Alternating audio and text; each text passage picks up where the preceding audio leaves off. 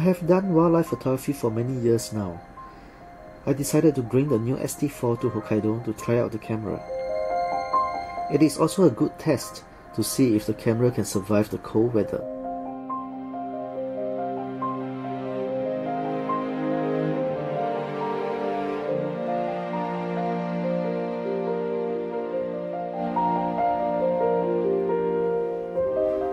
IBIS is finally on the X-T series. Definitely much appreciated. Now I can even mount the camera in the car and shoot video as we drive. The camera comes with an improved high-speed shooting for video, which can slow down the video by 10 times at 240p.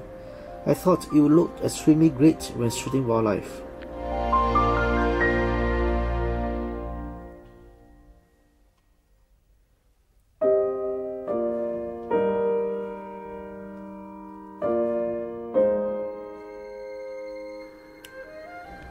I also liked that the video and still selections are now on the top right hand dial, and only two selections, no longer the top left hand dial with all the other selections.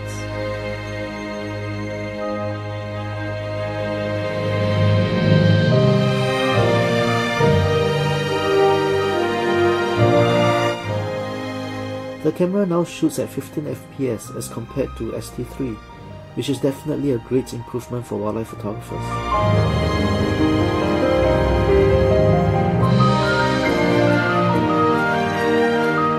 Fujifilm has once again exceeded my expectations with the X-T4. The camera suits my shooting style, and I am sure a lot of people will enjoy the camera too.